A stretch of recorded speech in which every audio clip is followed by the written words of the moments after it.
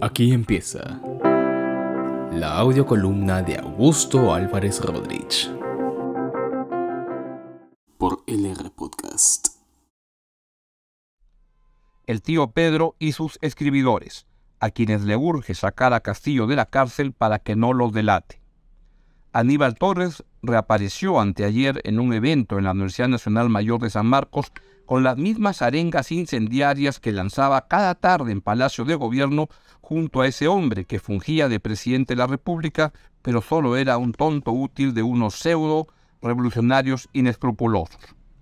El ex premier alocado, alocado porque según el diccionario de la Real Academia Española es alguien que tiene cosas de loco, parece loco y revela poca cordura estuvo junto a Héctor Béjar, el primer canciller de Castillo puesto en Torre Tagle para poner la diplomacia peruana al servicio de intereses foráneos, quien lanzó iniciativas como la expropiación de la televisión para que ésta transmita debates como el que él protagonizó en San Marcos junto con el ex juez supremo Duberlí Rodríguez, quien fue el abogado que impidió que Torres fuera a prisión preventiva alegando una grave enfermedad que felizmente estuvo bien camuflada en sus fogosas intervenciones de anteayer en San Marcos.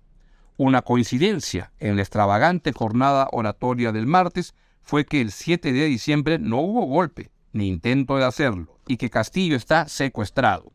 Es el mismo argumento promovido desde el exterior por Andrés Manuel López Obrador, Evo Morales, Gustavo Petro, junto con unos abogados argentinos convocados para la causa, quienes pretenden la liberación del golpista torpe que no pudo concretar la misión que le señalaron sus patrones, quienes hoy niegan su involucramiento en el putsch.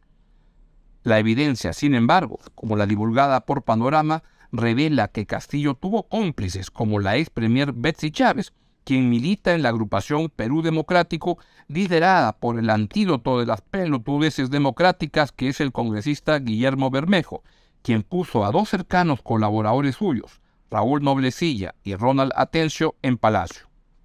Además, el sentido común indica que Castillo es incapaz de escribir el discurso calcado del de Alberto Fujimori del 5 de abril de 1992 con añadido de obvia autoría de Torres, quien en la entrevista, entre comillas entrevista, en el blog El Salto pone un párrafo para eludir su complicidad.